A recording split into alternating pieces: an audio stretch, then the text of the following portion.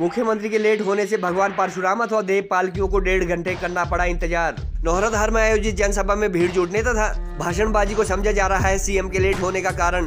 Corona काल के चलते गत वर्ष नहीं हो सका था अंतर्राष्ट्रीय मेला रेणुका जी का आयोजन। मेले के सरकारीकरण के बाद प्रशासन द्वारा की जा रही है परंपराओं की अनदेखी। अंतर्राष्ट्रीय मेला रेणुका जी में मुख्यमंत्री के पूर्व निर्धारित कार्यक्रम से करीब डेढ़ घंटा देरी से पहुँचने के चलते भगवान परशुराम अथवा पालकियों व सैकड़ों श्रद्धालुओं को लंबा इंतज़ार करना पड़ा। पूर्व निर्धारित सरकारी कार्यक्रम के मुताबिक हालाँकि, बाद दोपहर डेढ़ बजे मुख्यमंत्री मेले में शोभा यात्रा का शुभारंभ करने वाले थे, मगर नौराधार में हुई जनसभा में भाषणबाजी तथा भीड़ जुटना उनके लेट होने का कारण बताया गया।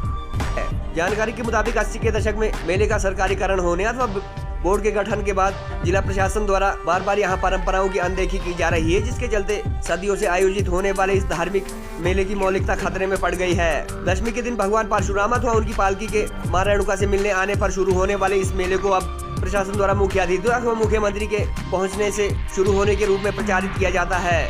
मेले में लगने वाली दुकानों के प्लॉट आवंटन से प्रशासन अथवा बोर्ड को लाखों रुपए की इनकम होने के चलते पिछले कुछ दशकों से यहाँ स्थानीय लोगों के डेरे अथवा रात्रि विश्राम के कैंप के लिए मेला मैदान में जगह खाली नहीं छोड़ी जा रही है, जिसके चलते डेरा परंपरा समाप्त हो चुकी है और अब न तो गिरिपार व जौसार के लोगों के डेरे यहाँ लगते हैं और न ही जातर होती है।